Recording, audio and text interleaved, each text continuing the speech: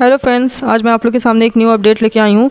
यहाँ पे बेसा agriculture university काके रांची के द्वारा एक कन्वोकेशन नोटिस जारी किया गया है। इसमें आपको तीस जनवरी 2019 में जो स्टूडेंट्स पास आउट हो चुके हैं, वो अपना डिग्री सर्टिफिकेट ले सकते हैं अपना यूनिवर्सिटी का कन्वोकेशन सेरेमनी में, जो कि दो फरवरी दो हज़ार तेईस। को ऑर्गेनाइज़ किया जाएगा और आप लोग को इसके लिए एप्लीकेशन सबमिट करना होगा।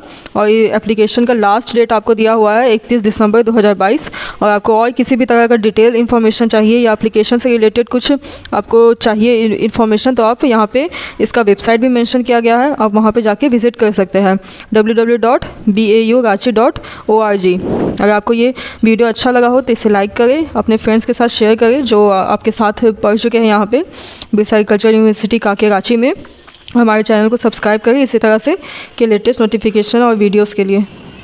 Thank you